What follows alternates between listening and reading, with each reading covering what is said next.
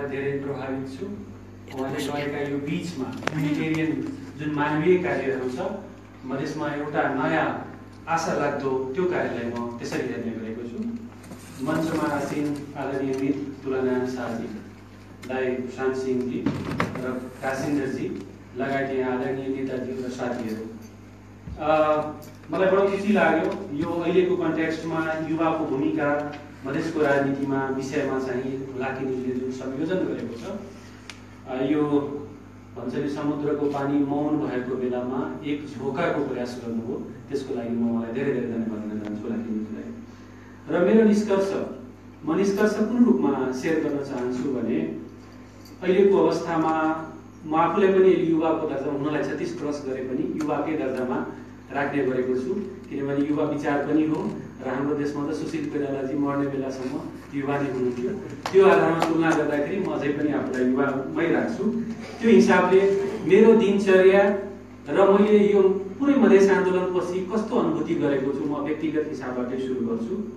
अहिले धेरै समय चाहिँ मैले छोरीलाई खेलाउनेमा बिताउँछु धेरै। किन भन्दाखेरि तपाईँको गर्ने केही पनि जस्तो लाग्दैन। जति गरे पनि केही हुँदैन जस्तो पनि लाग्छ। त्यस कारणले बढी टाइम चाहिँ अहिले परिवारलाई दिने गरेको छु। म यसलाई कहाँनिर लिङ्क गर्न चाहन्छु भन्दाखेरि what I feel is that we have lost the battle either we accept or not that's different thing तर यसपालिको मधेस आन्दोलन पराजित भएको छ हामी हारेका छौँ। यो कुरालाई म आत्मसात गरेको छु कि हामीले धेरै प्रयास गर्यौँ धेरै शहादत दियौँ धेरै सङ्घर्ष गर्यो तर जुन युद्ध परिणाममा पुग्नु पर्थ्यो त्यो चाहिँ पुग्न सकेन। त्यस कारणले हार स्वीकार गरेर एजेन्डालाई जीवित राख्दै नयाँ हिसाबले नयाँ जेनेरेसनले सङ्घर्ष गर्ला त्यसको लागि कमसेकम एजेन्डालाई जीवित राखिदिनुपर्छ कि भन्ने हिसाबले चाहिँ काम गरिरहेको अवस्था चाहिँ छ। त्यस कारणले पुस्तक लेख्ने सङ्कलन गर्ने मेमोरीहरूलाई त्यो समयमा र घरमा बढी समय बिताउने गरेको छु। त्यस कारणले यहाँ युवाको भूमिकालाई कुरा गर्दाखेरि मलाई लाग्छ कि अब यो जेनेरेसनको अहिलेको मधेसको यो पङ्क्तिको युवाले पनि सक्छ कि सक्दैन भन्ने मलाई त्यति धेरै आशा छैन। किन भन्दाखेरि हाम्रो ओरिएन्टेसन त्यही स्कुलमा भयो जहाँ जसरी भन्छौँ नि हाम्रो बुवा बाजेको पुस्ताको पालामा महेन्द्रमाला पढाइन्थ्यो उहाँलाई जति पनि मैले संहिता गणतन्त्र धर्मनिरपेक्षताको बारेमा बताए पनि उहाँले त्यो कुरालाई आत्मसात गर्न धेरै गाह्रो पर्छ। त्यस्तै हामीलाई चाहिँ एक खालको स्टेटस कोमा हामी हाम्रो ओरिएन्टेसन भयो। हाम्रो पोलिटिकल एजुकेसन पनि त्यही मास्टर त्यही हेड मास्टरहरूको स्कुलमा भयो जसले झोला बोकाउने बाहेकहरू केही सिकाएन आदर्शको कुरा समानताको कुरा र स्वतन्त्रताको कुरा हामीलाई सिकाउन सकेन। उनले के अपेक्षा गर्छन् भन्दाखेरि हामीले फेसबुकमा लेख्ने हरेक शब्द उनबाट स्वीकृति लिनुपर्ने भन्ने अपेक्षा गर्छ हामीले लेख्ने हरेक ट्विटरका शब्दहरू उनको अनुसार लेखिदिनुपर्ने भन्ने अपेक्षा गर्छ मलाई बडो दुःख लाग्छ त्यो बेलामा। त्यस कारणले गर्दाखेरि र यो ब्याचलाई पनि यो अहिलेको जमातलाई पनि म चाहिँ लस्ट ब्याटलको एउटा वेरियरको रूपमा नै हेर्ने गर्छु। त्यस कारणले गर्दाखेरि मलाई के लाग्छ भन्दाखेरि अब हाम्रो दायित्व भनेको प्लस टूमा पढिरहेको युवाहरू आठ नौमा पढिरहेको जेनेरेसनका युवाहरूले गर्ला कि भन्ने मलाई धेरै आशा छ। यो भनेकोमा धेरै साथीले दुःख नमनाउनु होला। त्यो भनेको हाम्रो अहिले दायित्व केही पनि छैन भनेर मैले भन्नु खोजेको होइन हाम्रो दायित्व अवश्य पनि एजेन्डालाई कमसेकम भन्छ नि चिङ्गारीको जलाके राख्न धुवाको कमसेकम कायम राख्न र यो रूप भोलिको मधेस किन भन्दाखेरि एउटा कुरा सत्य के हो भन्दाखेरि एजेन्डा कुनै पनि सम्बोधन भएको छैन। सब्सटेन्टिभ एजेन्डा कुनै पनि सम्बोधन भएको छैन। हुनलाई एउटा उपलब्धि के भएको छ भन्दाखेरि नेपालको राजनीतिको मधेस अहिले केन्द्रबिन्दु बनेको छ। अब त्यो बाइपास गर्न सक्दैन। नेपाली राजनीतिको केन्द्रबिन्दु मधेस बनेको छ। र त्यो केन्द्रमा रहेको मधेस राजनीतिलाई हामीले कन्टिन्युटी गर्न सक्नुपर्छ। त्यो डिबेटलाई कन्टिन्युटी गर्न सक्नुपर्छ जस्तो मलाई लाग्छ।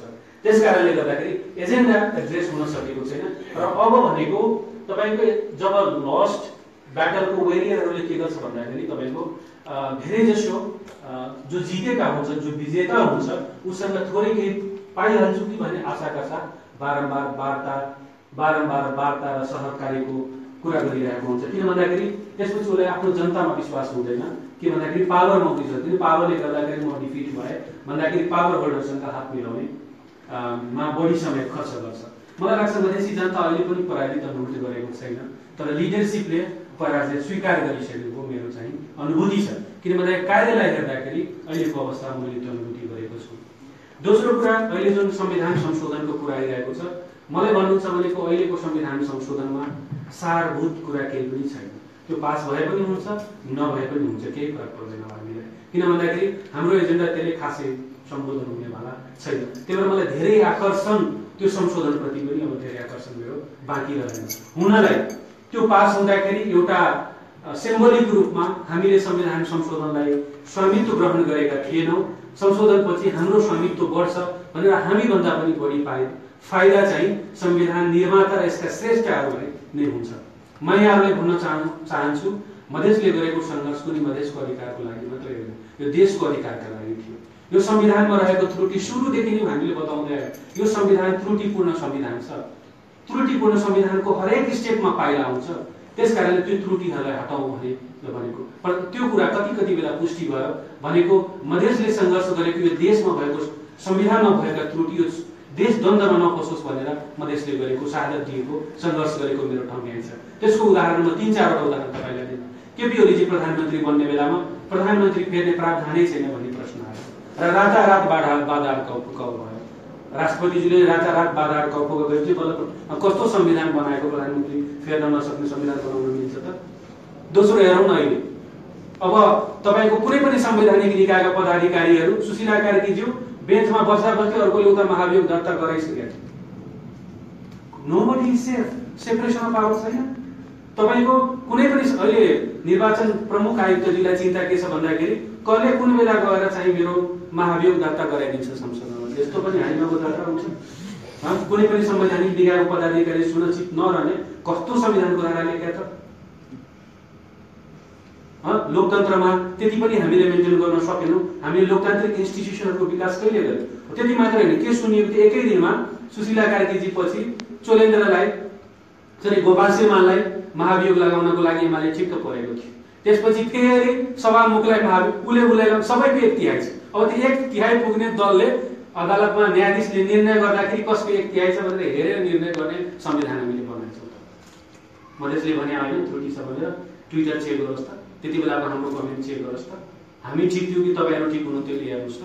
भन्दाखेरि त्यो देशकै लागि थियो। त्यो बुझ्नु पर्यो। तर त्यो कुरा स्वीकार गरिएन। त्यस कारणले मलाई के लाग्छ भन्दाखेरि अहिलेको अवस्थामा अब हामीले सबैभन्दा महत्त्वपूर्ण कुरा यो युथ डायलगमा गर्नुपर्ने। मेरो समयको सीमा पनि मलाई याद छ। युवा डायलग भनेपछि सबै कुरा युवा अनुसारको ट्याक्क टाइममा पनि गर्नुपर्छ प्राविधिक पनि मिलाउनुपर्छ। भन्दाखेरि पुरानै ढरामा गएर हुँदैन हरेक कुरामा नयाँपन दिनुपर्छ भन्ने कुरा पनि उहाँहरूलाई राख्दै दुई तिनवटा छोटो कुरा म राख्न चाहन्छु। अब हामीले त्यसो गर्ने के? अब तपाईँको जुनसुकै पार्टी जेसुकै गरे पनि अहिलेको शहादतको लिस्टलाई हेर्ने भने सबै युवा छन्। सङ्घर्ष चाहिँ काम गर्ने काले माम खाने भाले। सबै काम चाहिँ युवाले गर्ने हो। हुनलाई यो जेन्डर हिसाबले सरी अनुपयुक्त होला तर मैले भन्ने मेरो भन्नुको तात्पर्य के थियो सबै काम युवाले गर्ने। तर त्यसको सबै फाइदा चाहिँ कसले लिने भन्दाखेरि तपाईँको एउटा एज जसले चाहिँ डोमिनेट गरेर हुन्छ त्यसले चाहिँ लिइरहेको अवस्था हुन्छ। तपाईँको शहादतको लिस्ट हेरौँ चाहे बैसठी त्रिसठीको लोकतान्त्रिक आन्दोलनको लिस्ट हेरौँ चाहे माओवादीको जनयुद्धको सङ्घर्षको बेला हेरौँ युवाले नै देशको अनुहार फेर्न सक्छ किनभने इनर्जी हुन्छ। अहिले त अब फेसबुक ट्विटरमा लेखाउन पनि नेताजीहरूले युवालाई नै लाउनुहुन्छ। आफूले लेख्न सक्नुहुन्न। त्यस कारणले हाम्रै हातमा हातमा चाबी रहेछ भन्ने कुरा त थाहा भयो। कुन शब्द लेख्ने कुन फुल स्टप कमा मिलाउने भन्ने कुरा त हाम्रै हातमा रहेछ। त्यस कारणले गर्दाखेरि चार पाँचवटा काम चाहिँ गर्नुपर्ने जस्तो देखिन्छ मलाई युवाहरूको सन्दर्भमा हेर्दाखेरि। एउटा कुरा त अब first accept that we have lost the battle एक्सेप्टेन्सले के गर्छ भन्दाखेरि इनर्जीलाई फेरि रिकलेक्ट रिगेन गर्नलाई मद्दत गर्छ दोस्रो कुरा अब नयाँ हिसाबले हामीले यो सङ्गठित रूपमा हुन्छ कि असङ्गठित रूपमा हुन्छ? कुन रूपमा हुन्छ? नयाँ हिसाबले सोच्न सुरु गर्नु पर्यो नयाँ सङ्गठनात्मक संरचना अब यत्रो हेर्नुहोस् न अहिले। यो विवेकशील साझा यत्रो आयो। यत्रो आइसकेपछि एउटा क्यान्डिडेटले पुरै तहल्का चाहिँ जित्ला नजित्ला त्यो आफ्नो ठाउँमा छ। त्यो जित्नु हार्नुको प्रश्न होइन। हार्यो भने पनि एउटा दिन खोजेको म्याचले त उसले दिइसक्यो चुनावले जितिसक्यो म त भन्छु। त्यस कारणले गर्दाखेरि मधेसमा के त्यस्तो सम्भव छैन त? हामीले त्यो सन्देश दिन सक्दैनौँ। त्यो भन्नुको अर्थ मैले अहिलेको राजनीतिक दललाई पन् पन्छाउन भनेको होइन। तर एउटा नयाँपनको सन्देश हामीले पनि दिन सक्छौँ कि सक्दैनौँ? त्यो हाम्रो त्यो हाम्रो सामु चाहिँ चुनौतीको विषय छ। त्यो सँगसँगै म यहाँहरूलाई म यति धेरै कुरा गर्दाखेरि खालि नकारात्मक यो भएन त्यो भएन भने जस्तो पनि लागेको होला। त्यसको लागि म माफी चाहन्छु। केही सकारात्मक कार्यहरू पनि भएका छन्। जस्तै अब त्यो सकारात्मक कार्य मैले आफैले गरेको पनि म भन्दिनँ तर तत्कालै हेर्दाखेरि मधेसको मुद्दा चाहिँ अन्तर्राष्ट्रियकरण भएको छ। त्यसमा चाहिँ हामीले गर्व गर्नुपर्छ। तपाईँको प्रथमचोटि बेलायतको संसदमा आठजना सांसदहरूले पहिला त एकजना सांसदले दर्ता गराउनुको तराईमाथिको मोसन र त्यसमा स्पष्ट रूपमा मधेसीहरूसँग विभेद छ संविधान संशोधन गर मधेसमा भएको हत्याको इन्भेस्टिगेसन गर भनेर एकदम बोर्डली एन्डी क्लाउडीले दर्ता गरिन् र आठजना सांसदले त्यसमा हस्ताक्षर गरिसकेको अवस्था छ। र र संसद बेलायतको संसद भङ्ग भयो नभए तिसजना सांसद पुग्थ्यो। र त्यसपछि चाहिँ त्यसमा डिबेट हुने सम्भावना हुन्थ्यो। त्यो दुर्भाग्यपूर्ण छ त्यस्तै तपाईँको संयुक्त राष्ट्रमा पनि युपिआरमा कुनै बेला जेनबामा चाहिँ मधेसको हरेक देशले उठाउने गरेको प्रश्न उठेको थियो। अहिले नै अमेरिकी एउटा टप भिजिटमा आउँदाखेरि यहाँको स्पिकरले म फर्केर गएपछि दिल्ली भएर फर्किन्छु र नरेन्द्र मोदीजीलाई भन्छु कि मधेसलाई साथ चाहिएको बेलामा धोका नदिनुहोस् न भनेर आग्रह गर्छु भनेर उहाँले यहाँ भन्नुभएको थियो। भन्दाखेरि किन भन्दाखेरि मधेसको प्रायोरिटी भारतले मौका आएको बेलामा दिन्छ कि दिँदैन भन्ने पनि अन्तर्राष्ट्रिय चासो उठ्न थालेको अवस्था भइसक्यो। जनता पनि तपाईँको एजेन्डा एड्रेस नहुँदाखेरि उकुस मुकुस भएको अवस्था छ र त्यस कारणले संविधान संशोधन भएर ब्रोडर रूपमा इन्स्टिट्युसनल रिफर्म र त्यसमा सेना प्रहरी बन्दुक तुलाजीले भन्नुहुन्छ बन्दुक कलममा यदि हाम्रो सहभागिता सुनिश्चित भएन भने अल्टिमेटली तपाईँले हेर्नुहोला यो निर्वाचनपछि संविधान संशोधन फेलै हुन्छ। म त मलाई त म त हन्ड्रेड पर्सेन्ट एउटा कुरामा के सियर भने संविधान संशोधन फेल हुन्छ। किन भन्दाखेरि सत्तामा भएको कमल थापाको दसवटा सांसद चोर्नु भनेको नआउने भनेको त्यो मेरो मत हो मेरो बुझाइ।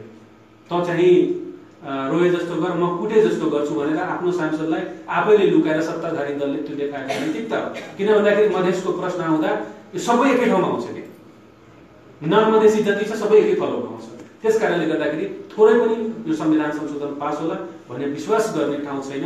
त्यसकारण म पहिले नै अब चाहिँ हुँदैन भन्ने हिसाबले र भएन भने तपाईँलाई यो साउथ एसियाको बलुचिस्तान काश्मीर नागाल्यान्ड बाहेक मधेस एउटा नयाँ काश्मीरीकरणको पाथमा जान्छ भने ढुक्क भएर बस्नु होला।